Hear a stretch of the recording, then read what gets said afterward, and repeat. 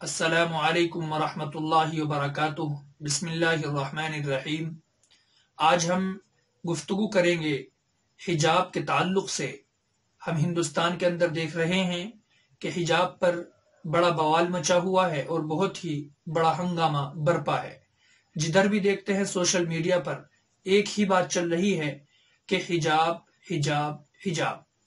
और बहुत से लोगों के जहनों में ये सवाल है और ये बात है कि इस मसले का क्या हल है? ऐसा क्यों हो रहा है? हमारे साथ ये सब कुछ क्यों चल रहा है?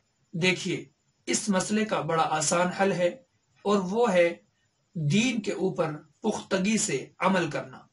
जैसा कि हिजाब का मामला चल रहा है तो इस मसले का हल ये है कि हमारी मुसलमान बहनें, हमारी मुसलमान माएँ और हमारी मुसलमान बच्चियाँ ये अहद करें कि हम अपने घर से खुले सर नहीं निकलेंगी। हम अपने घर से बगैर हिजाब के, बगैर बुरके के नहीं निकलेंगी। अगर हम ये अहद कर लेते हैं और हम ये ठान लेते हैं तो फिर यकीन जानिए कि पूरी दुनिया इस बात के लिए मजबूर हो जाएगी कि वो हमारे सामने झुक जाए। अगर आज पाबंदी है हमारे हिजाब पर, हमारी दाढ़ी पर और हमारी इस्लामी अरकान पर तो किस वजह से, सिर्फ़ इस वजह से कि हम दीन पर अमल नहीं कर रहे हैं। दीन पर अमल ना करने की वजह से ये सब कुछ हमारे साथ हो रहा है। देखिए, हिम्मत मर्दा, मदद खुदा। बड़ी अच्छी कहावत है।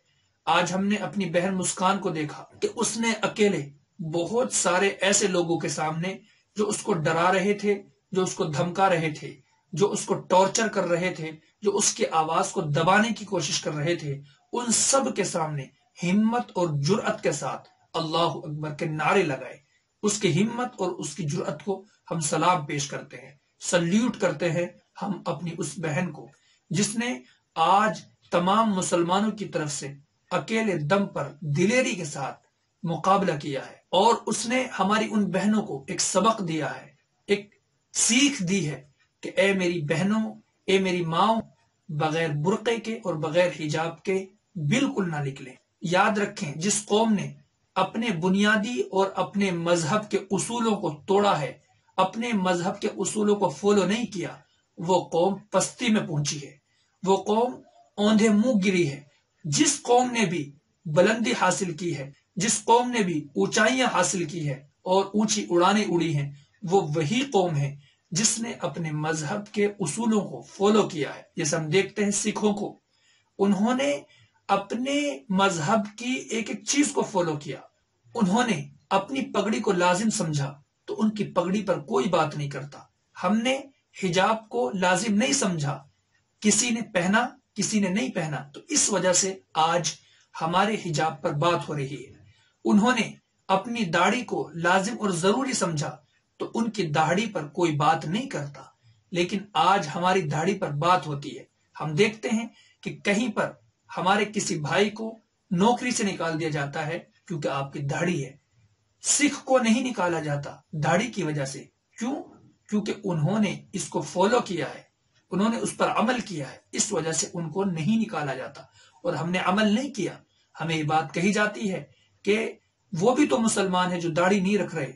वो क्यों नहीं रख रहे? क्या वो मुसलमान नहीं है? वो दूसरी बहनें जो हिजाब नहीं पहन रही, खुले सर बाहर फिर रही हैं। क्या वो मुसलमान नहीं है? वो क्यों नहीं हिजाब पहनती? तो देखिए, इस मसले का सिर्फ़ यही हल है कि हम पुख्तगी के साथ, मजबूती के साथ दीन पर अमल करने वाले हो जाए। हम ये कह रहे हैं कि हालात खराब हैं। हालात कोई खराब नहीं है। हालात खुद ब खुद अच्छे हो जाएँगे। अल्लाह हमारे लिए हालात को साजगार कर देगा, अगर हम दीन पर अमल करने वाले हो जाएँगे। देखिए, अल्लाह तबारक वाली ने फरमाया इन अल्लाह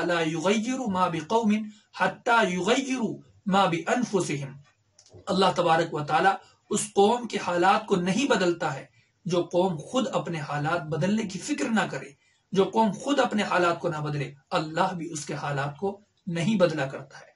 अगर हम चाहते हैं कि हालात बदलें, हम चाहते हैं कि हमारे हिजाब को कोई कुछ ना कहे, हम चाहते हैं कि हमारे दीन के किसी भी रुकन पर कोई बात ना करे तो हमें उन पर अमल पैरा होना होगा और हमें अमल करना होगा।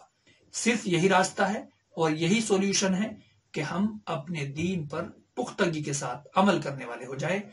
अल्लाह से दुआ कीजिए, अल्लाह अमल की समझ की तोफ़ी अता फरमा दे और हमें दीन पर पुख्तगी के साथ अमल करने की तोफ़ी अता फरमाए। असल वरहमत वरहमल वर्का